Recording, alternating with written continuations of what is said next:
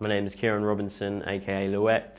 I'm an artist from Luton, specialising in urban pop art.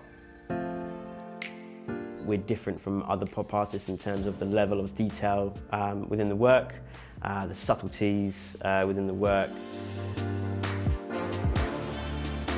We take a bit of a maximalist approach with each piece, so traditionally pop art pieces are quite quick.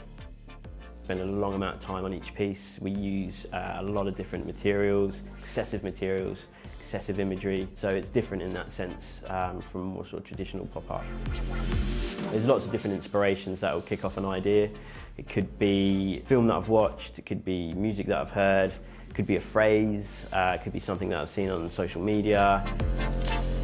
From that point, I start to build up a theme, uh, premise for a piece, and then I start to inject the different processes and craft elements into the work. Sometimes I get excited um, not having used a particular uh, material. So yeah, there's lots of different inspirations for the work and, and how they sort of develop into the final piece. My journey into becoming an artist started at a very young age. Uh, I've always been creative. I was always quite good at um, art, I guess. So I'd always be creating things. If I had an idea, I'd have to execute it, I'd have to make it. Didn't go down the traditional routes of academia, university, anything like that. I actually joined the Royal Navy um, at the age of um, 17 till I was 21, 22.